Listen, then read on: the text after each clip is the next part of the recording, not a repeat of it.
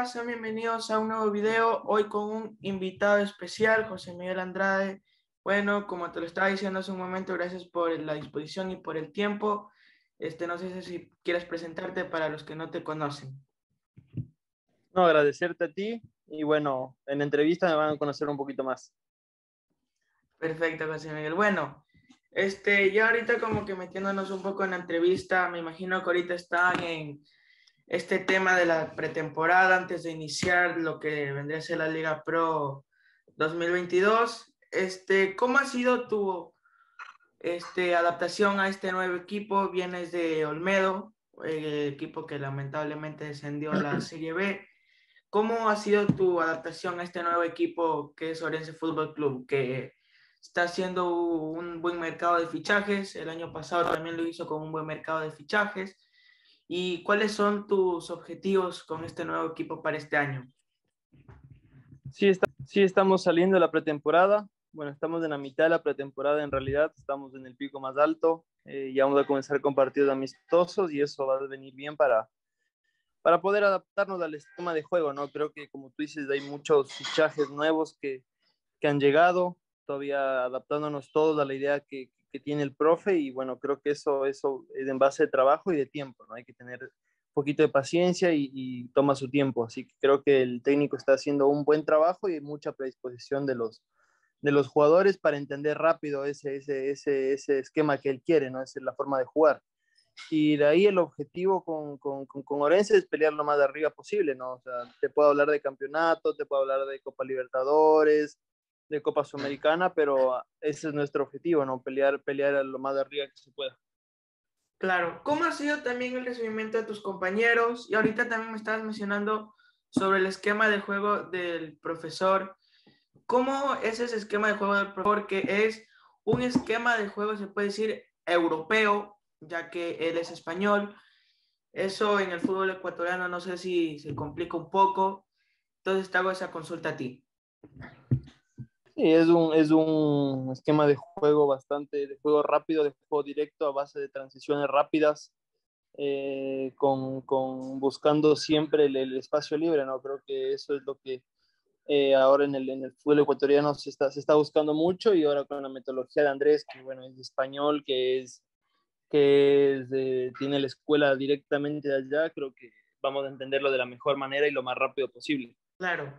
Bueno, este José Miguel, ahorita dejando un poco aparte lo, de, lo del equipo, lo de los amistosos y todo eso, yo quiero preguntarte cómo se dio tu llegada a Orense y si tenías bueno, fue... de otros equipos.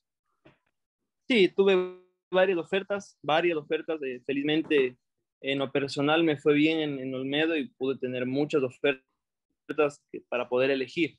Entonces creo que me decidí por, por Orense porque el técnico fue el que me pidió, eh, se conversó con mi representante también, entonces fue una, fue una opción interesante por, por la estructura que tiene el club, por, la, por lo ordenado que es y también es importante que el técnico te quiera y te haya pedido, entonces creo que, creo que es, eh, fue una decisión eh, importante para mí para seguir en, en, el rumbo y en, la, y en el objetivo final que es de lo que quiero la selección, ¿no? Claro. Mire, en, la primera en la primera pregunta te preguntaba sobre los objetivos que tienen este año con el club. Tú me decías poder clasificar un torneo internacional. Ahora te pregunto, ¿cuáles son tus metas personales para este año en el Forense? Jugar muchos minutos, creo que ese es, fundamental y en base a eso, a jugar muchos minutos, ya puedo ir, ir pensando también en otros, en otros objetivos, ¿no? Pensar en una selección, que eso te digo, por eso fue la decisión también de venir acá para poder tener más minutos, quizás en otro equipo hubiese tenido menos minutos, pero bueno, eh, acá, acá el objetivo es la selección, el objetivo es, es, seguir pisando fuerte en el fútbol ecuatoriano y como te digo, tener muchos minutos y, y bueno, eh, afianzarme ahí en la, en la, mitad de la cancha y, y por qué no ser llamado a una selección también. Claro, bueno, ahorita ya dejando un poco lo actual, te comento que yo siempre en las entrevistas que hago trato de, de hacer un poco estas preguntas que son cosas que habitualmente capaz alguien no, no, te pregunta y todo eso. Entonces aquí te quiero preguntar, ¿cuál ha sido tu mejor anécdota a lo largo de tu carrera? La mejor anécdota positiva o negativa? La, una, las dos, una una. Ya.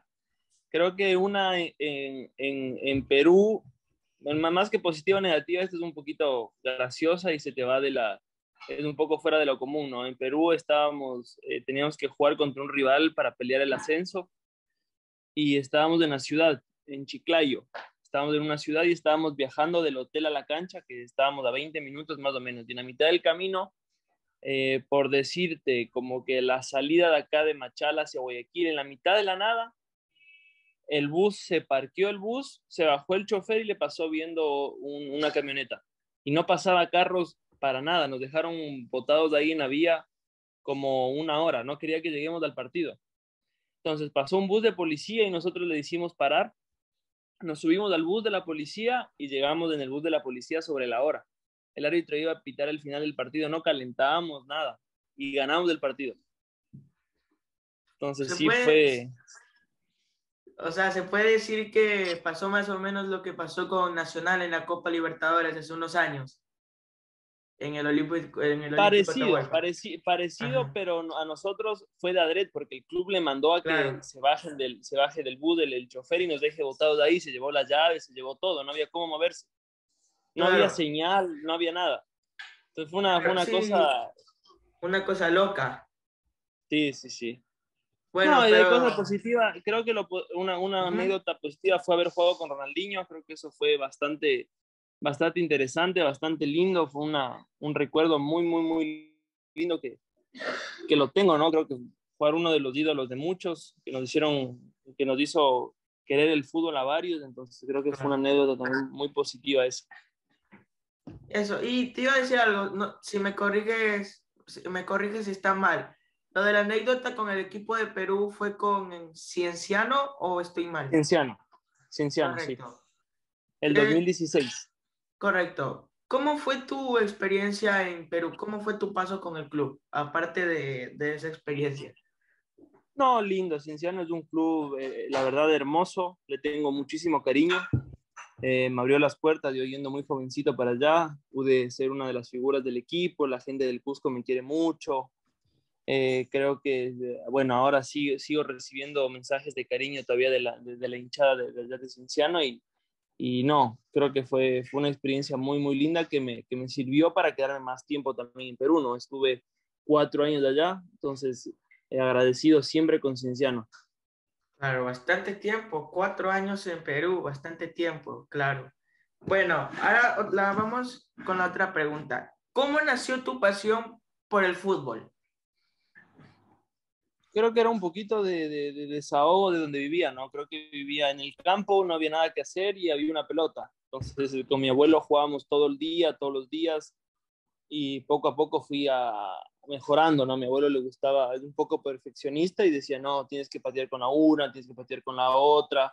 Entonces poco a poco fui perfeccionando ciertas cosas a los 6, 7 años, 8 años y después ya de eso, eh, alrededor mío siempre hubo gente que le gustaba el fútbol.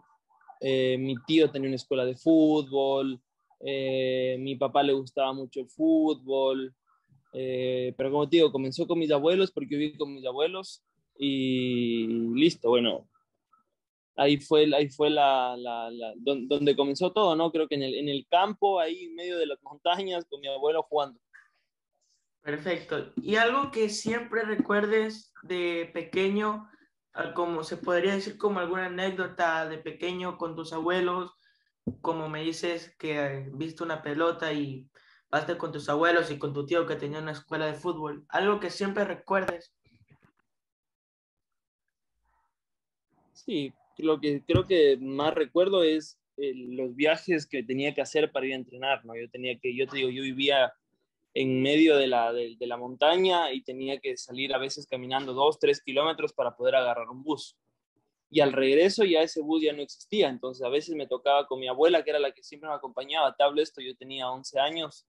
Mi abuela es la que siempre me acompañaba eh, a los viajes, era viajes de una hora y media, dos horas para llegar al entrenamiento. Y por momentos ya no había buses y nos tocaba jalar dedo. Y había, llovía y un día jalamos, jalamos dedo a un gusanito, a un gusanito que, que se iba ya a su casa, que había pasado una feria y le jalamos dedo a él y nos subimos con mi abuela en el gusanito y llovía y toda la cosa. Entonces, lo que más recuerdo de chiquito fue, fue eso, ¿no? Que la, compañía que tuve de mi abuela y de mi abuelo para, para poder seguir en el fútbol, para que ellos me, me hayan apoyado. Claro. De pequeño, ¿en qué posición empezaste a jugar? Eh, delantero. Toda la vida delantero y me, y, me, gustaba, sí, me gustaba arquero también. Entonces, ah. hubo un mundial, un mundial de sala infantil de 12 años y bueno, fútbol sala juega 5, tú sabes. Y ah. había momentos que el arquero que teníamos nosotros jugaba muy bien también. Y bueno, había veces que alternaba yo con el arquero, pero eso te digo a los 11 años, muy chiquitito. Bueno, aquí tengo otra pregunta. ¿Cómo te ves en tres años en el fútbol? A los 32 años. Creo que en un equipo grande, consolidado, jugando en una selección y eh, siguiendo, siguiendo el camino, ¿no? Siguiendo el camino, queriendo buscar eh, seguir mejorando, seguir perfeccionando, seguir aprendiendo, seguir creciendo. Y como te digo, en un, en un equipo grande y en la selección. Si tuvieras que elegir, si tú pudieras elegir una liga europea a la que puedas ir a jugar, ¿qué liga escogerías? La italiana, me gusta mucho el fútbol italiano. Eres mucho de ver perdón, ¿eres mucho de ver partidos internacionales o más nacionales? Mira, miro todos los partidos nacionales. Lo miro por, por, saber cómo juega el rival, por saber cómo juega eh, el equipo, el, el, el equipo por, por ver mis errores también. Y bueno, el fútbol internacional lo miro. No miro mucho el tema de todos los partidos. No soy un excesivo de fútbol, pero sí miro cuando juega el Real Madrid, cuando juega Barcelona, cuando juega la Liga Italiana también me gusta mucho. Pero la Liga Ecuatoriana, la liga donde estoy jugando, la miro siempre, siempre. La Liga Peruana también la sigo bastante porque dejé muchos, muchos amigos de ahí y le intento ver. ¿Cómo es José Miguel Andrade afuera de las canchas como persona? Bueno, eso creo que deberías preguntarle a, alguien, ¿no? A mí, a, mí no, a mí no mucho, pero bueno, me considero un tipo tranquilo, un tipo familiar, me considero un tipo que, que le gusta las amistades también, le gusta estar rodeado de, gente buena, le gusta estar, eh, elegir eh, más que cantidad, calidad de, gente con la que me rodeo y nada, eh, pasar mucho tiempo con, con la familia. Ahorita que me mencionaste que le debería preguntar a alguien, se me, este, te quiero preguntar, el mejor amigo que te ha dejado el fútbol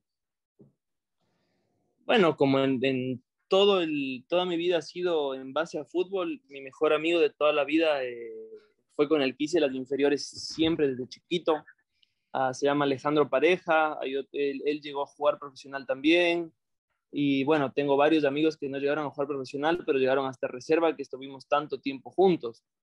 Eh, que son mis mejores amigos, que, que, siempre los veo, que cuando estoy de vacaciones nos, nos juntamos, pero bueno, ahora ya más grandes en el fútbol, en Perú pude hacer una linda amistad con, con, mucha gente ahí de, de, de fútbol también. Eh, Pablo Lavandeira, eh, Luis Hernández, bueno, mucha gente de, de fútbol en, en, Perú y, bueno, acá en Ecuador también he podido, he podido tener acercamiento a mucha gente, Mauricio Hiedro, eh, me hice muy amigo el año pasado, pasamos de arriba abajo a todo lado, fue a pasar fin de año conmigo en, en, en las vacaciones, eh, bueno, Jonathan Ferrari también me hice bastante amigo de él, el polaco Fidrisewski me hice bastante amigo de él también, Jerónimo Costa. Bueno, te puedo seguir enumerando a Richard Calderón, ahora que estoy compañero, lo conozco hace mucho tiempo atrás, que jugábamos en contra siempre. Y bueno, ahora que, nos, que, compartimos de equipo por, por, primera vez, creo que eh, es, es, una de las personas más cercanas que tengo, ¿no? Acá, acá en el equipo. Claro, como con la última pregunta ya para cerrar esta entrevista, un consejo que tú le darías a los jóvenes que su sueño es ser futbolistas profesionales, me incluyo, eh, ser futbolistas profesionales o que tal vez por algún motivo mm, dejaron de jugar el fútbol, pero su sueño es ser futbolistas profesionales. Un consejo que tú les darías. Bueno, creo que eh, los consejos eh, a veces uno los toma a mal, ¿no? Los toma como que te está hablando alguien queriendo ordenarte las cosas, ¿no? Creo que más que un consejo, una, una recomendación y una lección de vida de lo que uno ha pasado. Eh, bueno, lo, que te, diría es eh, tener mucha paciencia, trabajar fuerte y, y, mantenerse, mantenerse enfocado en el fútbol, ¿no? Porque el fútbol es corto y con el trabajo y la paciencia creo que esas dos cosas van, en algún momento hacen un clic para que puedas llegar a ser profesional. Eh, mucho trabajo, mucho trabajo, mucho sacrificio y mucha paciencia. Eso, esas son las, son las, las, para mí es la receta del, para poder ser profesional. Mucho trabajo, mucho trabajo, mucho trabajo, te puedo seguir diciendo trabajo y mucha paciencia. Bueno, ese José Miguel, muchas gracias por la entrevista nuevamente, te agradezco por el tiempo, por responder cada una de las preguntas. Bueno, espero que este año en Orense te vaya súper bien. Y bueno, muchas gracias por la entrevista y antes de irte, si le puedes mandar un saludo al programa que se llama De Volea y en este caso sería De Volea con José Miguel Andrade. No, agradecerte a ti y siempre estamos aquí a las órdenes cuando, cuando quieras algo, ¿ya? Estamos ahí atentos. Y bueno, mandar un saludo a De Volea, que hoy estuvimos de Volea con José Miguel Andrade.